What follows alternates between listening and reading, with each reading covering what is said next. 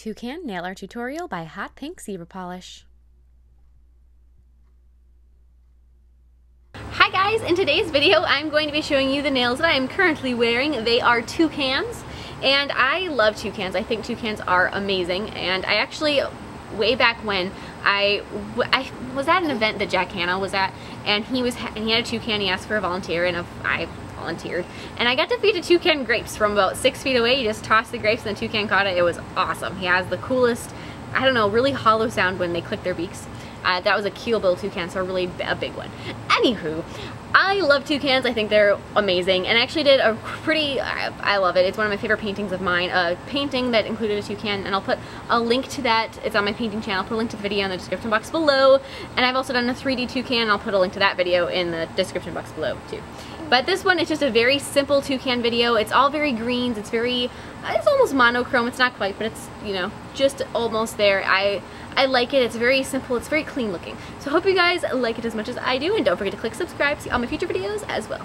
To begin by painting all of your nails a mossy shade of green.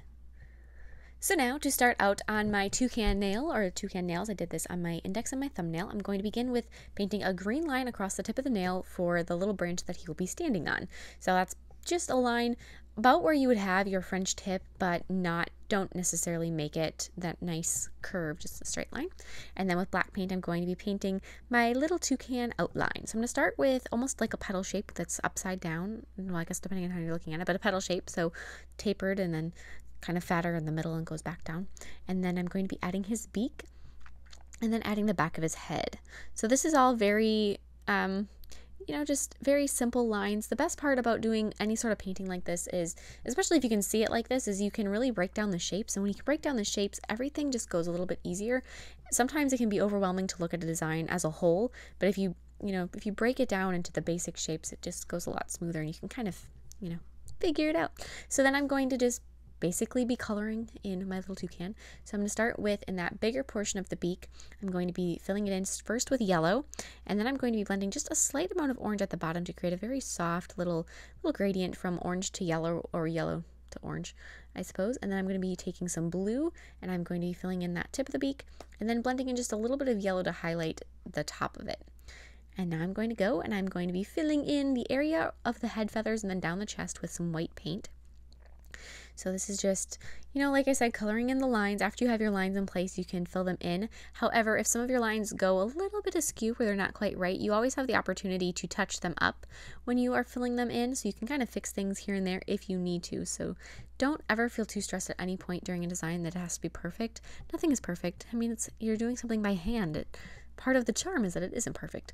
So then I filled in his little toes with yellow and then filled in the rest of his body and his tail with some of that black. And I'm going to go back through with white and just touch up the head feather area just a little bit to kind of smooth out my lines some. Like I said, you don't have to be perfect at any point because you can always go back through and touch things up.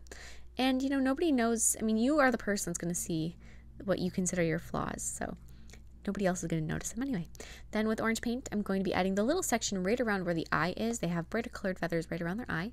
And then with a thin black line, add the little line to separate their upper and lower mandibles on the beak.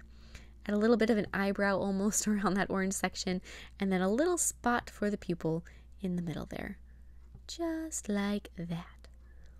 And so then on my index finger, this is one of my absolute favorite designs, and it's something that I have done several times on my nails. This uh, two front nail is what I kind of like to think of it as. But I'm going to start with the two center uh, the center bits of the frond. So just add those two lines kind of curving opposite directions, almost uh, you know, just like a baseball, I guess, kind of. And then add the little leaves going off of it. When you're doing this, make sure you add the leaves on the side of the frond that is the smaller curve. So if you look at it, there's like a bigger side and a smaller side. Make sure you do it on the smaller side first because if you add the leaves on the bigger side first, getting them to fit into the smaller side can be a challenge at times. I mean, it does work. And, you know, if you do it the other way. Don't sweat it. It's not like it's going to ruin the whole nail, but just a little easier to do the smaller side first and then the bigger side. And now with a nice bright shade of green, kind of a limey green, I'm going to go through and add little highlights on my leaves to add just a little bit of dimension on it. If you want, the green paint I'm using isn't fully opaque, so it actually works out really well to add these little kind of streaky highlights. But to get this nice blended effect, if you don't have a, if your paint is perfectly pigmented and it's just going to cover it up, go through and dilute it with some water before you start painting to give it this kind of softer appearance.